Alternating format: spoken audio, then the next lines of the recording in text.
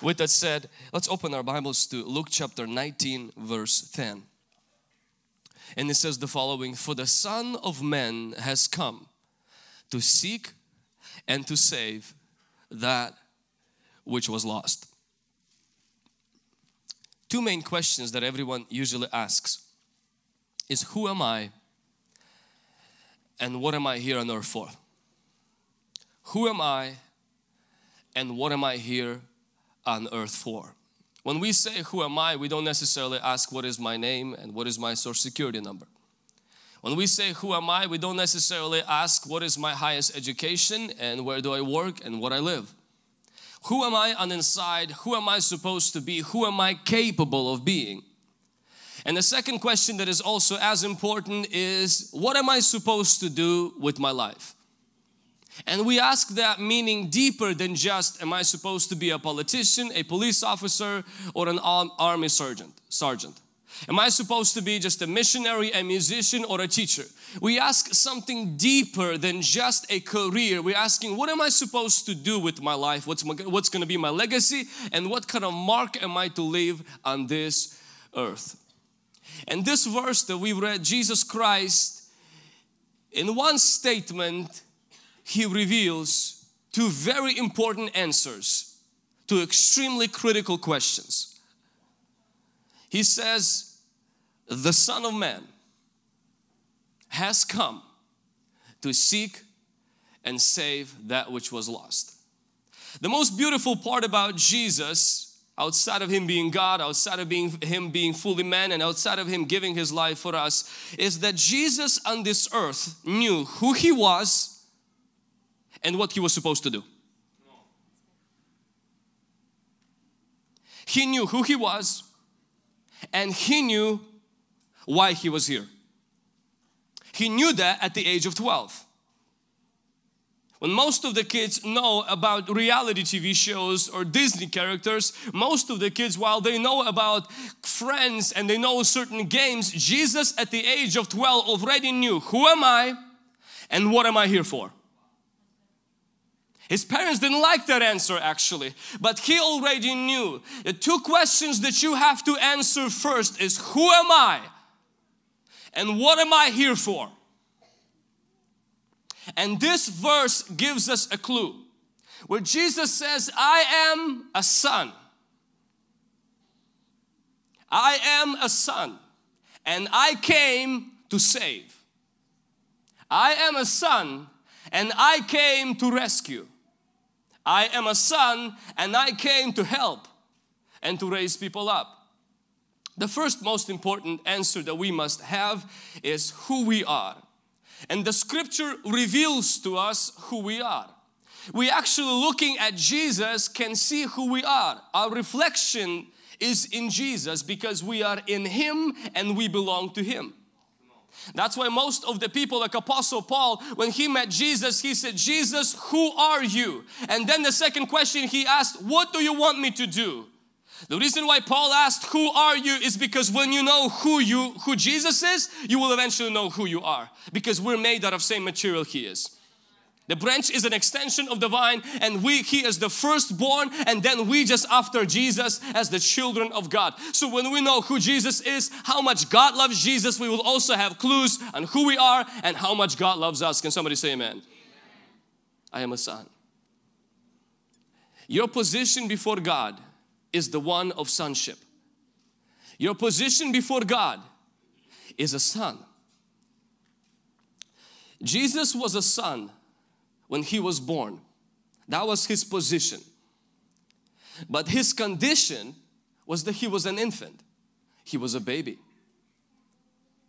In swaddling clothes, couldn't speak, couldn't move on his own, couldn't take care of himself but he was a son. His conditions begin to improve.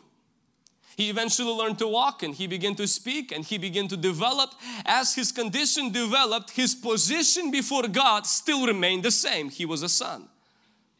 And then eventually at the age of 12, he was able to leave his parents, run away into the temple, be his, being his conditions improved, but his position was still the same. He was a son.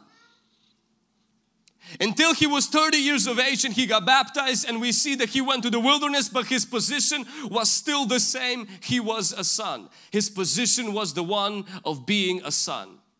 I want to tell us something this this evening is that your position before god is more important than your condition in life.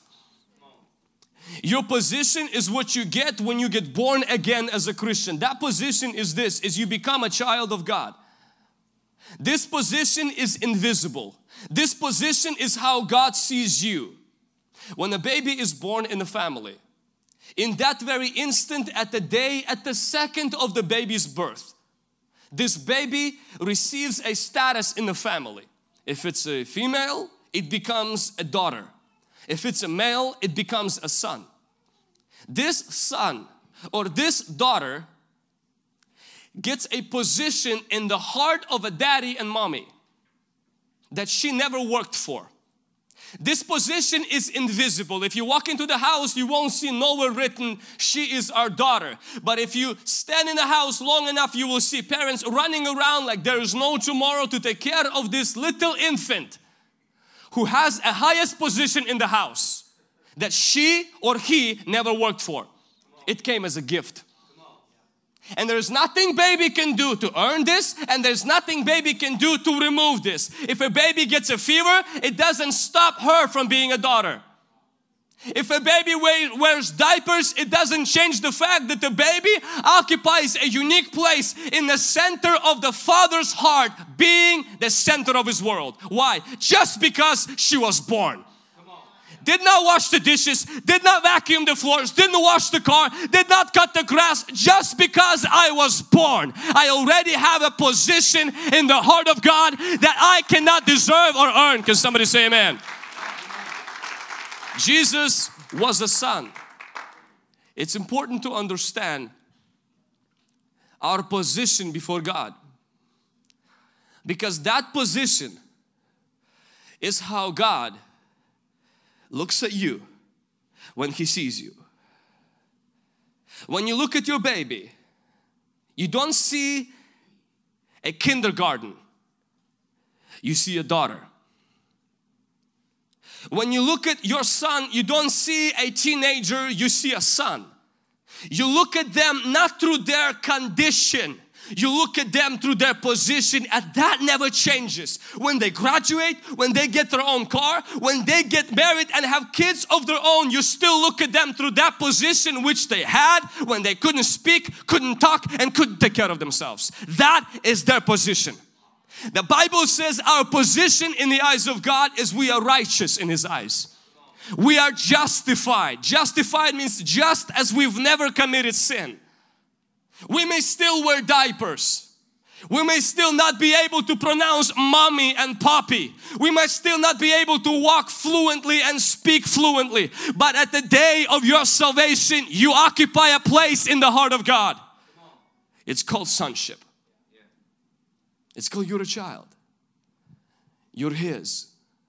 And it's very important to understand as believers, as Christians, that God is not intimidated by our conditions.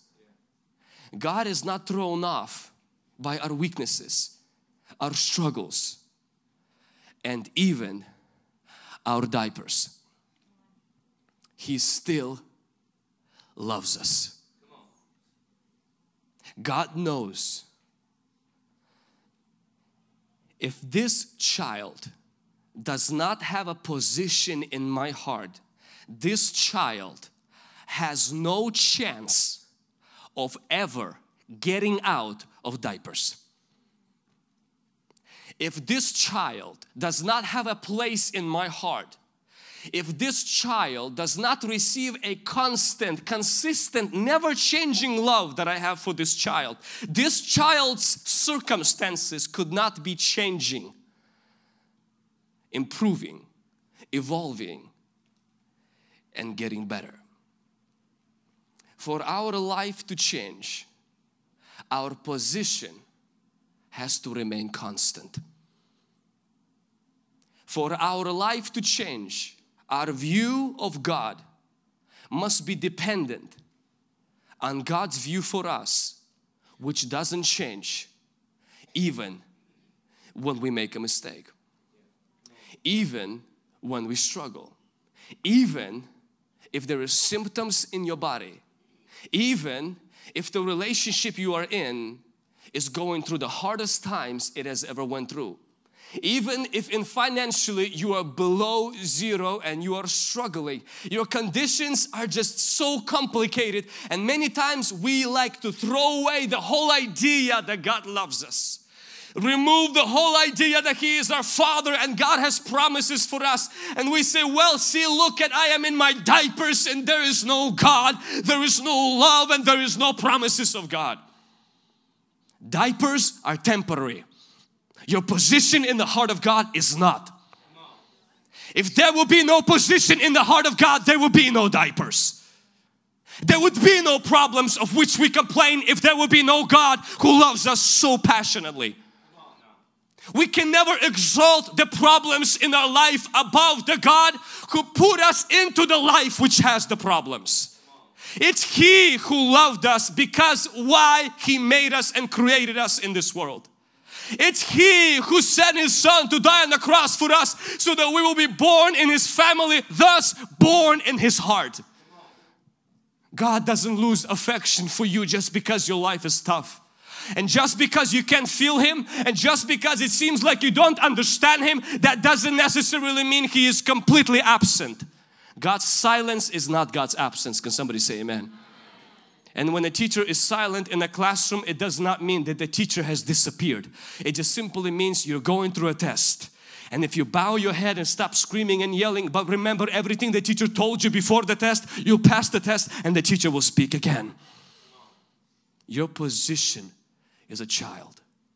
You always have to be conscious of that when you're going through difficult times. You always have to start with that when you want to change something in your life. Our position is what matters. It's how God sees us. It's how God views us. And this position is the one of sonship. Jesus said, I am a son. Who are you? Many times the answer comes by by I'm a successful person because I make money. I am a happy person because my husband loves me. I am a beautiful person because I get over a hundred likes on my Instagram pictures.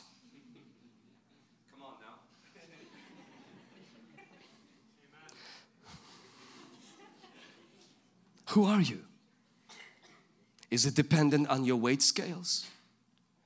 Is it dependent on your degree or your certificate or your diploma? Is it dependent, dependent on the digits on your paycheck? Who are you?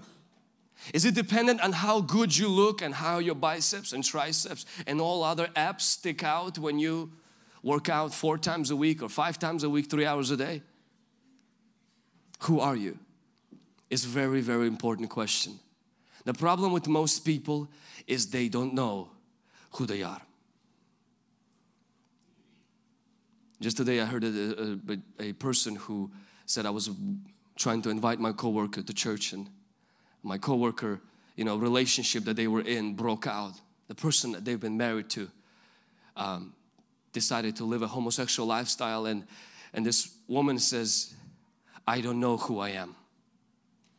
You know, my sarcastic response was check your drive license. You will see your name. Did you forget your name? But people don't mean that. I don't know who I am now.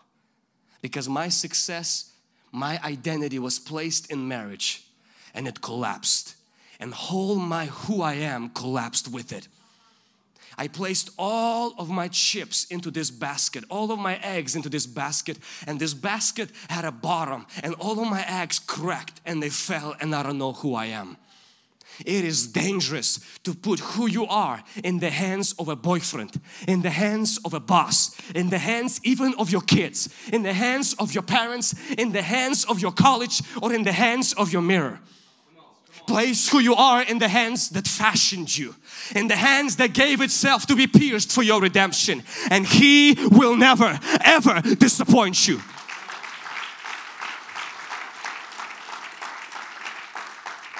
And when you gain 10 extra pounds, you will still be confident and then you lose them. And when you lose a job, you will cry a tear, but you will get over it and you'll get a better job. And when something collapses and you can't fix a relationship, listen, you will shake it off and move on. Why? Because on a solid rock, my foundation stands.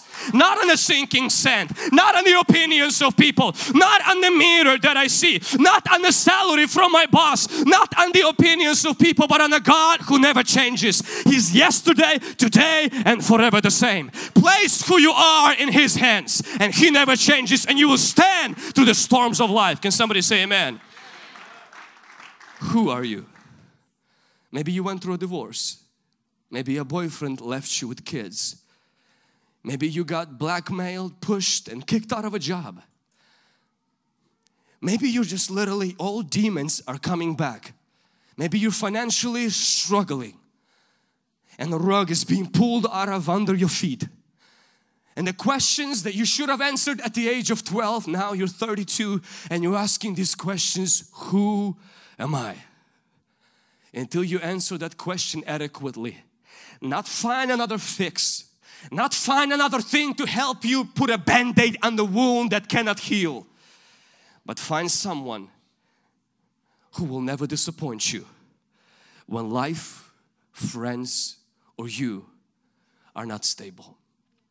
You know, when this was challenging question for myself because I've struggled with who I am. I've struggled with asking the question and answering the question of who I am. I knew my name.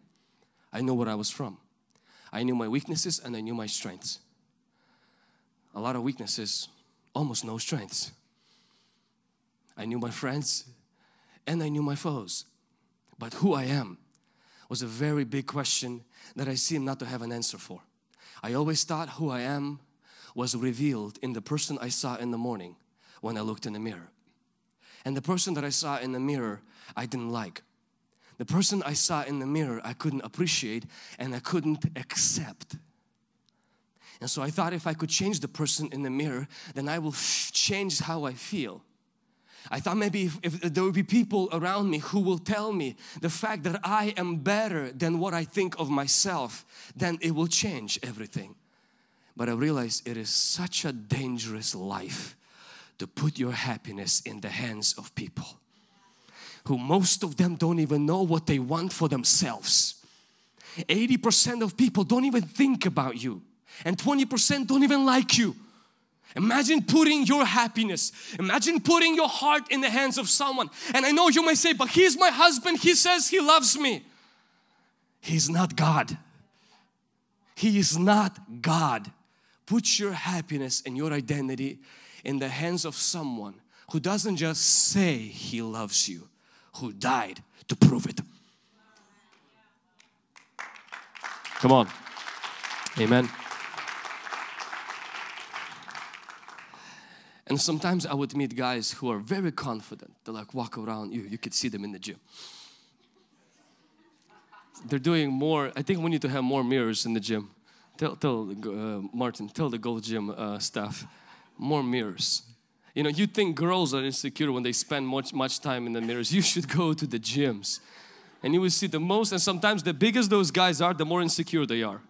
Because when they, if guys send five Snapchat pictures of their face, it's insecurity at its highest. And I remember would meet with guys and who act so confident. And I asked one particular gentleman and I said, what would happen if I would give you my physical appearance and I would take yours. Would you be as confident as you are now as if we would trade places? And he freaked out. And I was like, don't, don't worry about it. You're not gonna intimidate me by your reaction.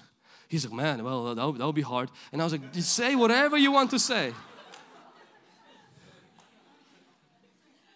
I was like, no, it's not gonna be hard. You'll be depressed, suicidal, and you'll be walking around doubting whether God loves you.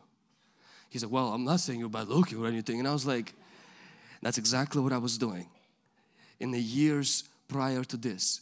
But I'm like, today you can put any skin on this skeleton and the person inside is already knows who they are. The color of skin, the weight on the scales, the, the, the wealth and everything else plays very little effect to the inside revelation I am a son, loved by a father loved by Christ who died on the cross for me, indwelled by the Spirit of living God who fashioned and created the universe. I have a home that's built by the greatest architect, Leo, my, my uncle, great architect and great builder. But there is a home that's being built for me by the builder of all builders, God Himself. Every 6,000 promises in the Bible are mine. He calls me His own. He says, if you mess with me, you're messing with an apple of His eye. So at the end of the day, I am not what I see in the mirror. I am what I see in His Word. I am His. I am His Son. I am loved. I am cared, handsome and fearfully and wonderfully made, more than a conqueror. If hell comes against me, the Spirit raises a banner against the devil because He is on my side. That is who I am. And that is who you are.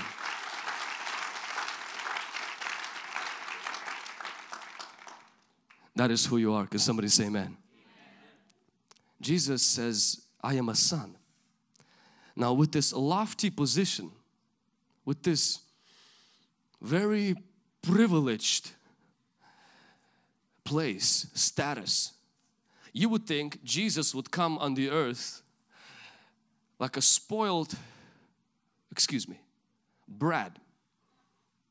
On a big chariot, having thousands of people running around him, having massages every single day having his nails trimmed and polished and every single thing being being so delicate and every single thing living in the palace hanging out with the big guys you would think having this such a high position you would have such a lofty place in this world lofty assignment in this world to reconcile the Roman and the Greek and the other empires together, together all the emperors together and say, hey guys, the Son is in town.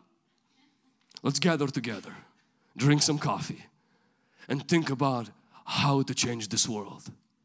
But Jesus said, the Son, His assignment is to save that which is lost.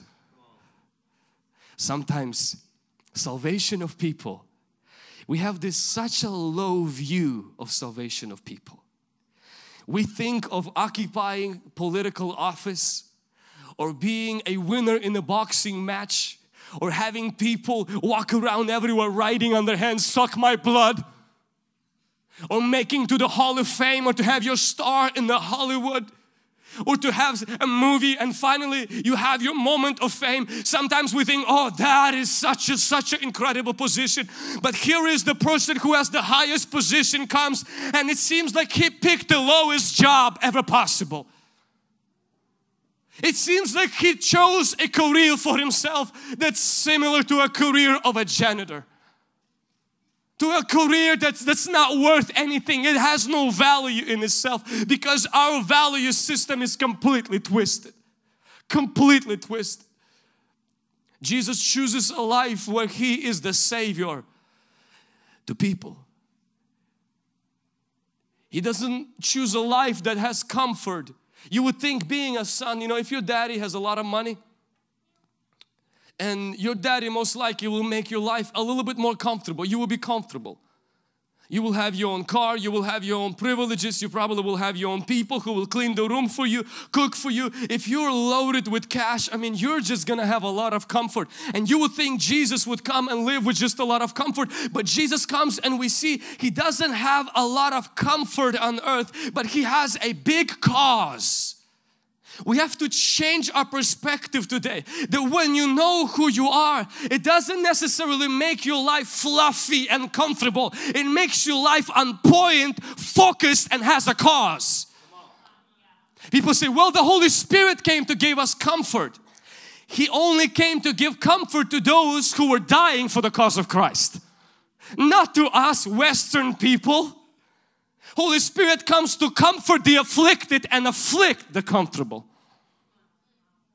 He doesn't comfort people who simply make a mess of their life of selfishness and puts a band-aid. No, He comes to comfort those who live for a cause bigger than themselves. He brings them comfort.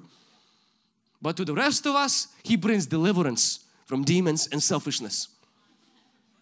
Amen. when Jesus came into the wilderness and we see that Satan comes to him and says, Jesus, I know that you came on this earth to do this task of saving people, but Jesus, you're the Son. You're a big shot. You're a big guy. You deserve glory. You deserve fame. You deserve to be known. You deserve for your popularity ranks to be at all time high. You deserve to be the person of the year every year that you live here if you just bow. If you push the cause for which you came and accept the fact you deserve better, you will have it. And Jesus said, No, no, no, no, no. I'm a son. But the highest task in my Father's agenda is not fame and glory, it's people. And because it's the highest on His heart, it will be the highest on mine. And fame and glory, it's not gonna be my most important. Wealth and riches, nicer and being coolest and nicest, that is not gonna be my main thing. I am not gonna be running around and kiss everybody's butt to see that everybody likes me, that Roman emperor likes me, and this governor likes me, and Herod invites me, the Pilate takes a picture with me. That is not my agenda. I know I am their boss. But when I am here, I am here to serve my Father's purpose, not to please their face. And the Father saw that in Philippians he said, because He took my priority above everything else, I will exalt His name above every name. And every knee will bow at the face of Jesus Christ. It's as though Father is saying, when you put my priorities and put the rest of the things on the side, God says, I'll move hell and high water. But I will make sure that things you sacrifice will come to your life. Not because you pushed yourself by your own shoes, but because God elevated you. And when God elevates you, no devil in hell can stop you. Can somebody say amen? I want to challenge each one of you to make winning people for Jesus your highest priority. I want you to sharpen the purpose of your life. You are a son, you are not a slave, you're not weak, warm of the dust, you are not what you see in the mirror. You are special to God, and your cause on this earth is not to just walk around easily offended. Everybody needs to like me, I need to live a comfortable. No, no, no, you're bigger and better than this. You have to have a cause that's sufficient to the position that you have a cause that includes everyone, a cause that includes living a life of sacrifice. Why? Because your position is capable of handling it. Other people are weak, warm of the dust. They just, oh, I'm just, oh, they cannot live like that. They need to chase fame and money because their cause is weak. You are bigger, better, and greater. Your cause has to be sufficient and consistent with your position. Can somebody say amen?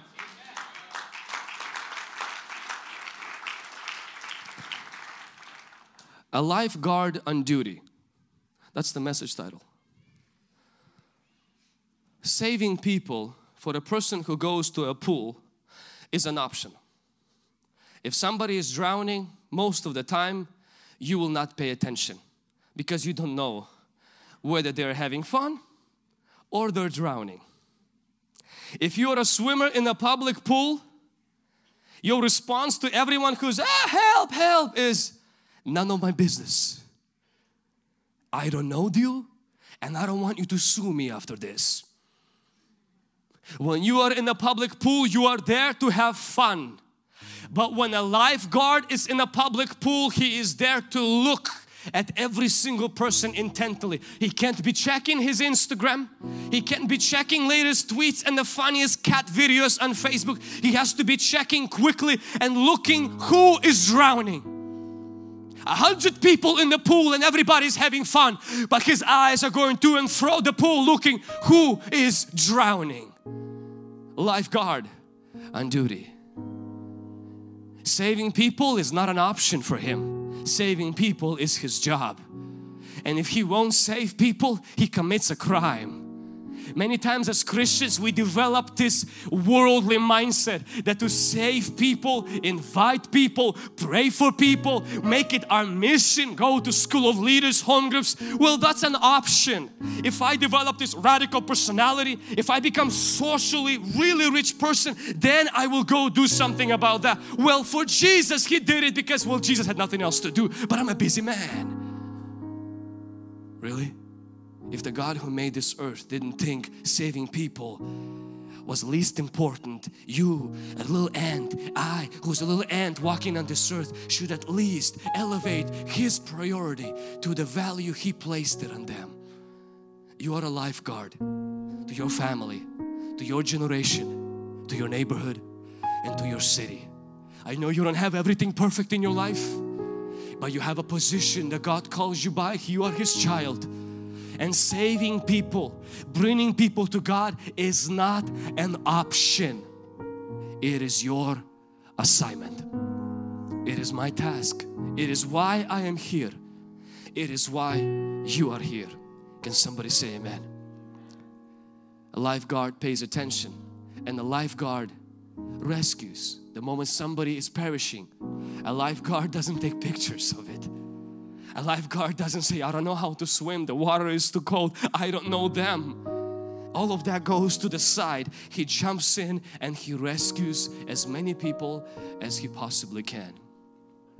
In New Orleans at 1985, the team of 100 certified lifeguards and 200 people gathered together in one of the largest pools in New Orleans to celebrate that 1985 was the year that no one drowned in the city. Huge celebration. They were celebrating, having a good time while there was a pool. Four people who were lifeguards were watching over the pool. The party was coming to an end. And they were emptying the pool. As they did so, they saw a man, Jerome Moody, 31 years of age, was on the bottom of the pool. He drowned while they 104 certified lifeguards were celebrating their victories. How many people drowned on our eyes while we tend to our own emotional, hurtful feelings? While we attend to our own selfish lives, lives and different things. I want us to be a generation that live like Jesus lived. Let it be said about you and me for the Son, you and me, has come to seek and save that which is lost. That's why we want to see thousands of people saved in Tri-Cities. That's why we want to see thousands of home groups in Tri-Cities. That's why we want to see miracles and healings and deliverances. That's why young people who are 10 and 12 supposed to at a young age get a vision, infected with the vision so they go to schools to start home groups, not to go to school to lose their virginity or get high on drugs. That's why at a young age, like Jesus, they have to know clearly and precisely. If you hit him with the hammer on the head, they'll tell you, I am here to win souls and make disciples.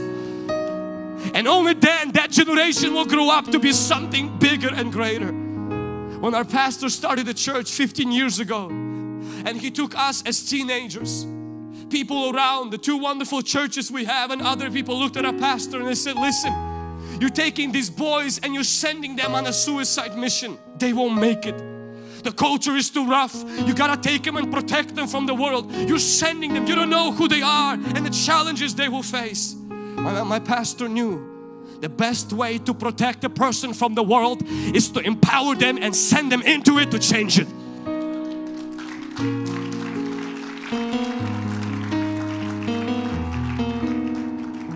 Did we have temptations? Yes.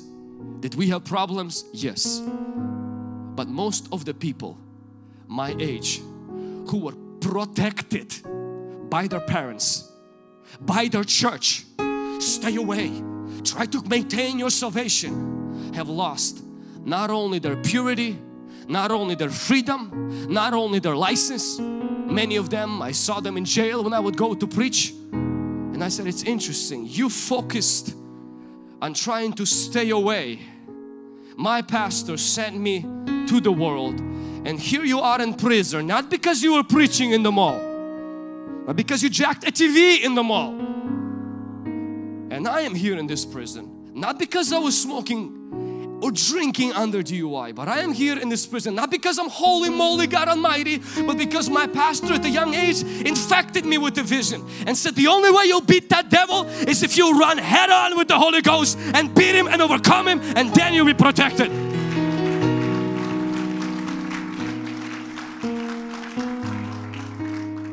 Parents, The best way to protect your kids from bad is send them to our Sunday school. Send them to every service. It's not to glue them to a TV in Disney World movie as long as there's no violence. No, no, no. It's to empower them at a very, very young age. Fill them with the purpose and with the vision. And you will see the Bible says, train up a child when he's young and he will not derail when he is old because that vision will become a reality in his life. All of our leaders, I want to encourage us commit your life to the mission of seeing people give their lives to Jesus. Giving salvation is not something our church is in this right now season. It's not a season. It's a season until every person in our city is saved. Until every drug addict is not taking drugs and parents don't have to sleep with one eye open to look at them. This season will last until every cancer patient has no more cancer. This season has to last until every person who has a disease and demonic attack is free of it. This is not something we are on right now. This is our assignment, this is our purpose, this is our focus, and this is our direction. Can somebody say amen?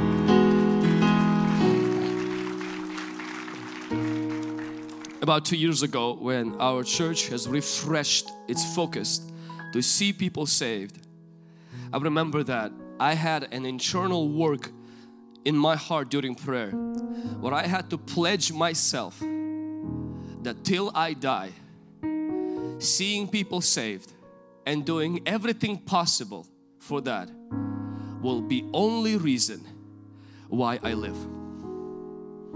The rentals, the cars, my name being known in other churches and in other places, people watching our podcast, all of that is not worth protecting and fighting for. All of that is to be used for one purpose and one purpose alone. I wrote it on my phone in my notifications that I live for this and there is no turning back. We might do home groups differently. We might do miracle, miracle catches differently. We might invite people differently. We might use different techniques and our methods will change. But church, our mission and our direction cannot change. It remains permanent until every single person Jesus bled and died for reaches and knows Jesus Christ. Can somebody say amen? Right now I just want to take a few minutes and I want us to watch a video clip. And this video clip was recorded and made, it's a little movie by one of the greatest evangelists of our time. Most of you have heard of him or know of him, uh, Reinhard Bonnke. He's a German evangelist who moved to Africa to start trying to bring people to God. And for many years, he only had six to eight people.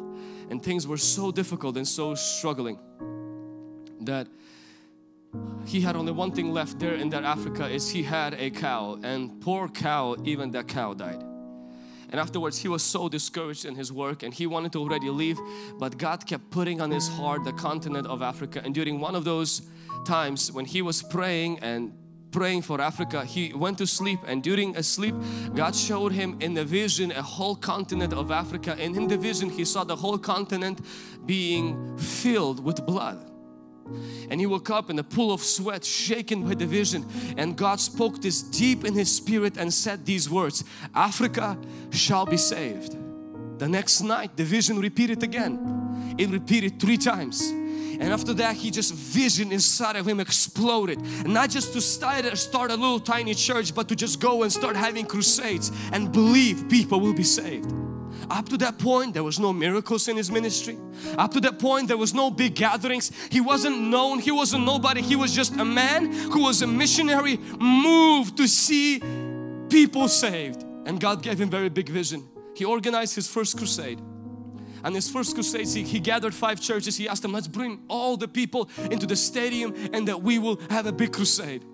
He says on the first evening, there was some a hundred people that showed up and the reason why he knew it was a hundred because he counted them 10 times while he was preaching.